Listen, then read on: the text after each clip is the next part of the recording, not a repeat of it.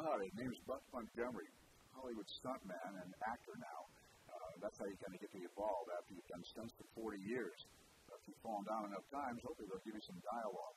And uh, for 40 years, got to have a chance to work with folks like, uh, oh, some unknowns maybe. Oh no, maybe there are knowns. Maybe someone like uh, uh, Clint Eastwood, Tom Selleck, Michael Landon. So I've had a privilege, uh, privileged life actually, in a career to be able to work with some people on some great films. Pale Rider, uh, The Long Rider is one of my personal favorites.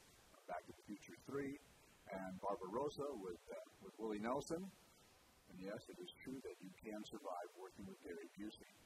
So, uh, but here at the High Chaparral reunion, uh, this is the place that's keeping all these things alive. Now, we're keeping the West alive, but we're also keeping the heritage of what I like to call history meets Hollywood. Because uh, Hollywood has done a great job about putting down pretty much all the facts about the Old West and it makes people interested while they're being entertained. And that's exactly what we do here at the Chaparral. So I invite you all to come down because next year, as if things weren't exciting enough, next year we'll be adding uh, two or three big things. Can't tell you what they are, but I'm uh, working closely with the, uh, the producer and organizer of the event, and we're going to be bringing some extra entertainment in and probably some new celebrities.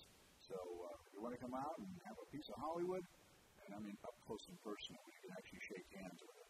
This is where you want to be at the High Chaparral reunion.